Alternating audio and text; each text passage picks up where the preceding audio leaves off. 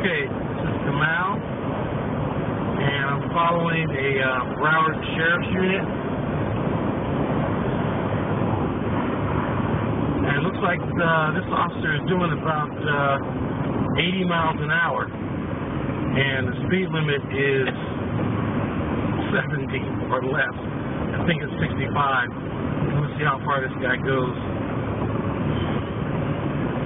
I told these guys I was going to be down here, and I guess they didn't uh, put it out on the bulletin board. So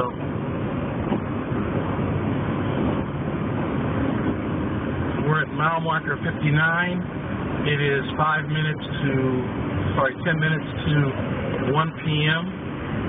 And I am following a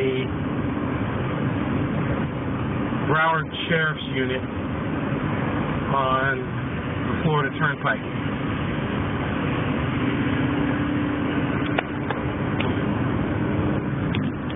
Now, I like Broward, and they have uh, improved substantially, and he's not doing 80 anymore, so that's good. We'll see how far this goes. Maybe he'll pick it up again. Ah, speed sign over there says 65, and he's doing about 75 right now.